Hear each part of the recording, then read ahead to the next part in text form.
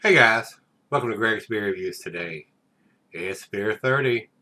Let's go take a walk, see what's in the fridge today.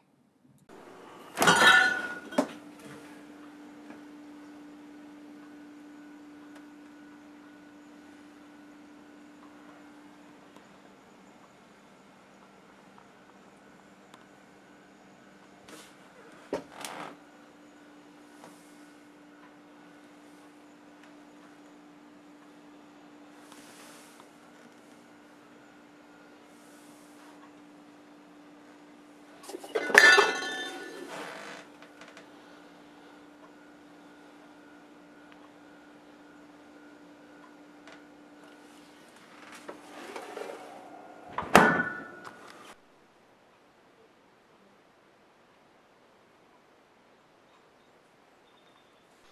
everybody, thanks for stopping by Greg's Beer Reviews today. Look at how big this bottle is.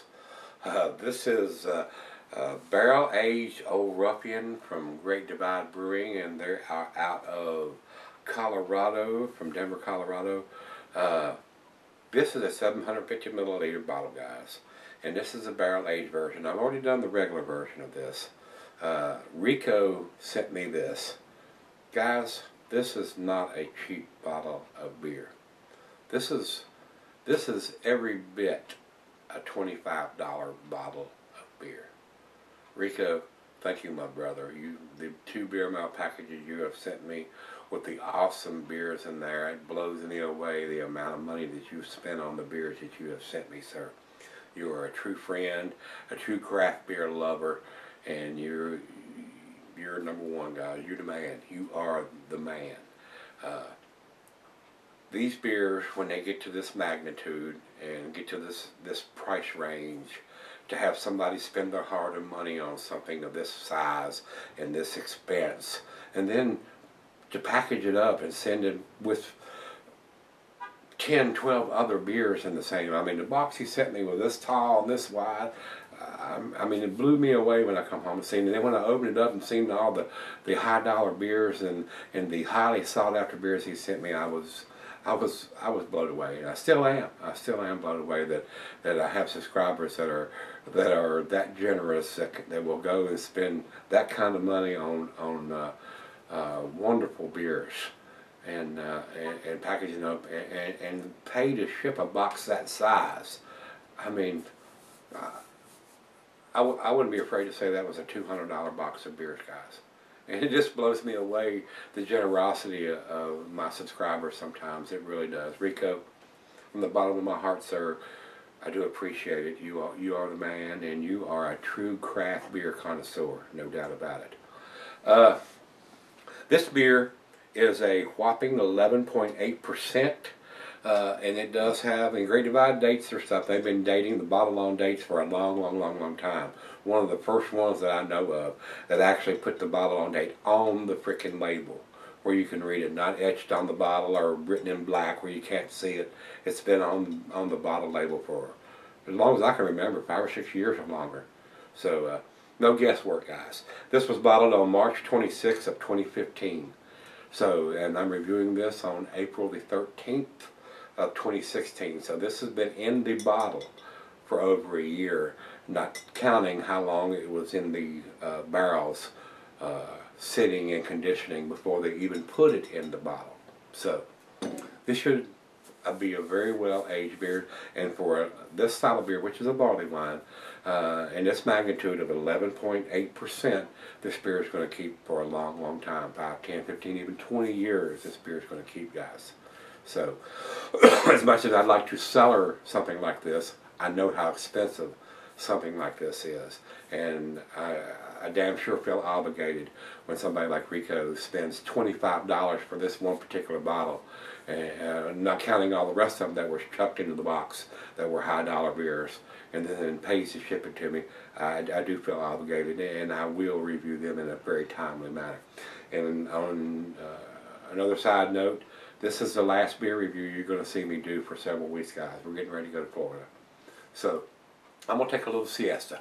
Uh, and I do that about once a year. Uh, and this is it's time for me. We're going to go to Florida and uh, enjoy Bike Week for uh, for a little bit and uh, look for some look at some houses while we're down there and see what we can come up with. We're getting ready to uh, put this one on the market, hopefully.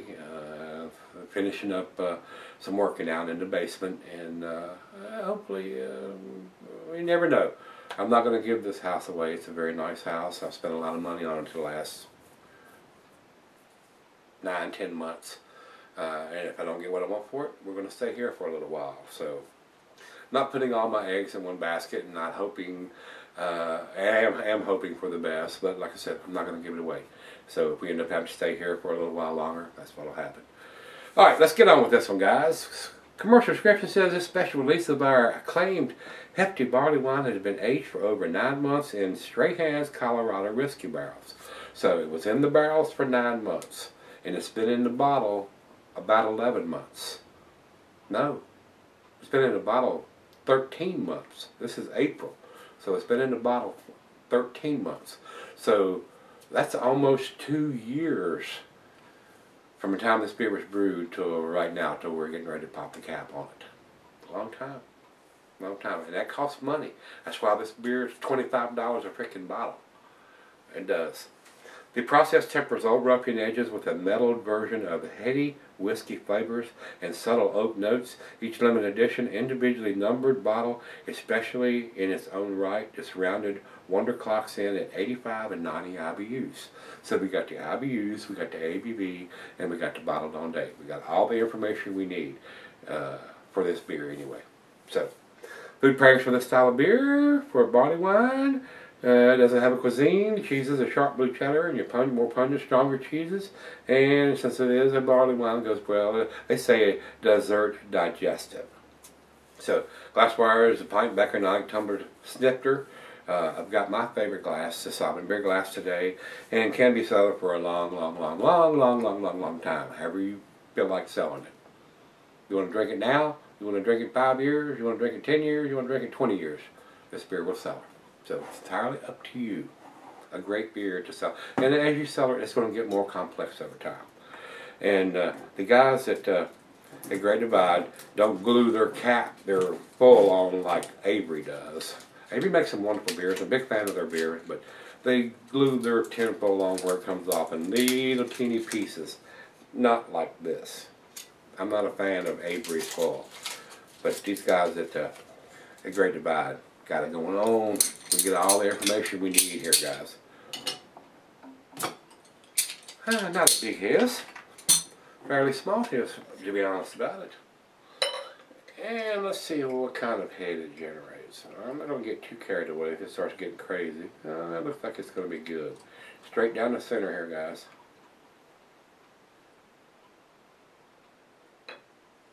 Perfect.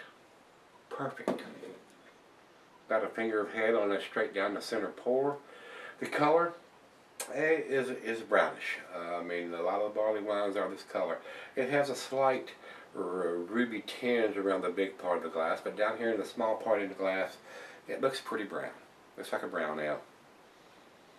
But I got a feeling it's going to have a lot more ass than any brown ale is going to have. So, good looking beer. Let's get a nose on it. Ooh getting a little bit of booziness there. So like I said, this may be a really prime candidate to sell for a while and let that booziness settle down a little bit. Sometimes it does, sometimes it don't. But uh, it, it, won't hurt. I am getting some booziness for 11 uh, percenter, almost 12 percenter. Actually, uh, Beer Advocate has it at 12.70. Before I get carried away, let me confirm this. And they have it at 11.8 at the rate beer. Let's see if it's, I don't, don't know if it's written on the bottle. Let's take a look. Actually, it says 10.2% alcohol by volume right here in the corner. So they're both wrong. And beers like this a lot of times change from year to year when they when they brew to make this. The recipe changes a little bit, and a lot of times, even if the recipe doesn't change, a lot of times the alcohol uh, ABV is a little different from batch to batch. So 10.2%. So it is a little boozy for a 10.2 percenter. But you got to realize it's been in uh, whiskey barrels and it's going to pick up some of that booziness from the barrel. caramel, toffee. Very heavy sweetness on the back end here. Some dark fruit in there, raisins, dates, figs, plums. A very sweet smelling beer like most of your barley wines are. Well, I've ran and raved long enough. It's time. Cheers, everybody. Cheers, Rico, my brother. You, you the man, buddy. You are the freaking man. Cheers.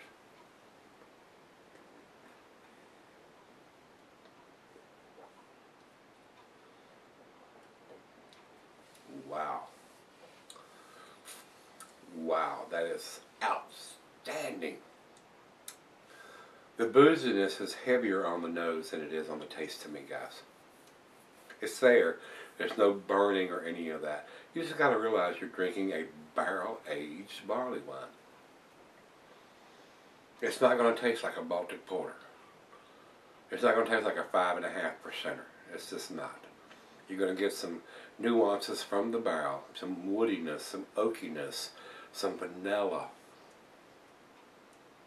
And being a barley wine, you're going to get that caramel and toffee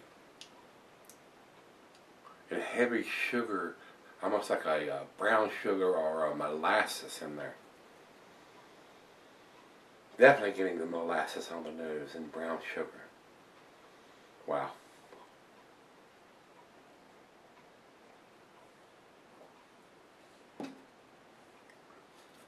A great beer to finish up the beer reviews before I go on vacation. Excellent beer for that. Wow. That's delicious. Well, and it's a great big bottle. I still got this much in there. I'm going to pour her a big old glass and uh, see what she thinks about it. I know she's going to love it. I actually asked her. I said, I'm getting ready to do the last beer review before we go on vacation. Which one? And she looked in the refrigerator. She, she picked this out. She wanted, she wanted to taste this one before we left. So, that's what I did. So, we're going to pour her glass and we're going to sip on it for 45 minutes to an hour and see where it ends up and see how shit-faced I am when I come back and uh, we'll give it the final chug and grade then. I'll be right back. Alright guys, I'm back. Got just a little left. Been sitting on about 45, 50 minutes, close to an hour now. Awesome beer. It is very, very tasty. Uh, when I did the Old Ruffian review, I said, the only way this could be better if you barrel aged it. Well, that's what they've done on this one. Uh, this is a barrel aged version of the Old Ruffian. Very very tasty. Uh, it's awesome guys. It's uh, it's got everything that you want in a barrel aged barley wine. The co coffee the toffee the caramel uh, the dark fruits are there. The uh, the bourbon from the barrel aging the vanilla maybe a slight hint of some coconut in there some brown sugar or molasses very very nice very, very nice indeed. We got the IBUs, we got the ABV, we've got the date on the label, you know, on a bottled on date, not an enjoy by or best by date. Uh, it's a win-win-win situation for all of us craft beer drinkers. Uh, whether you're a reviewer or not, uh, you got the information you need to make a conscientious purchase on this beer, even though this is a pricey beer. Like I told you guys, this is this is this is a twenty-five dollar bottle of beer, and some places it may be even more than that. I know this is a high dollar beer. It most definitely is. So, Rico, once again, thank you, my brother. You you're freaking awesome, dude. Let's do the final chug. Still got the heavy bourbon aromas, uh, and a lot of people mix that up with alcohol uh, as far as being boozy. smells boozy on the nose, but it doesn't taste boozy at all.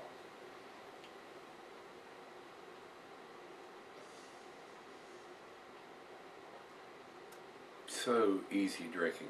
And this is a 10.2% is what I have on the bottle here. Not 11.8 or 12.7 that both of the uh, Rate Beer and, and uh, Beer Advocate have. So evidently it changes from year to year when they do these styles of beer. So it's pretty damn tasty though. Like I told you earlier, a great beer to wrap up the beer reviews uh, while I'm gone on vacation. So uh, hope you're enjoying this. I am. final chug. Wonderful aroma.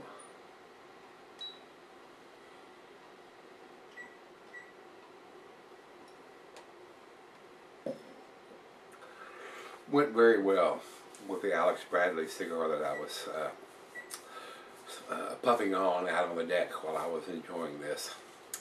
Very, very nice.